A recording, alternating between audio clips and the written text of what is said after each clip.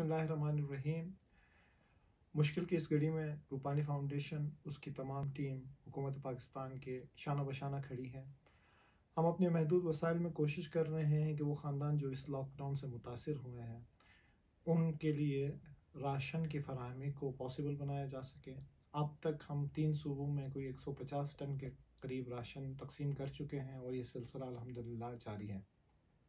साथ ही साथ जो रूपानी फाउंडेशन का अहम और अपना मैंडेट है अर्ली चाइल्डहुड डेवलपमेंट का, उसके लिए ऑनलाइन क्लासेस का इजरा किया गया है ताकि जो बच्चे लॉकडाउन में घरों तक महदूद हो गए हैं, उनको घर के अंदर ही proper information early learning stimulation के हवाले से फराम की जाए। जो तीसरा अहम एस्पेक्ट है, जो इन क्वारंटीन सेंटर्स के अंदर जो बच्चे मौजूद हैं, उन बच्चों तक हम लोग कोशिश कर रहे हैं कि किताबें और खिलौने उनको पहुँचाए जाएँ ताकि वो उस आइसोलेशन में उनके ऊपर जो साइकोलॉजिकल प्रेशर है उसको कम से कम किया जाए।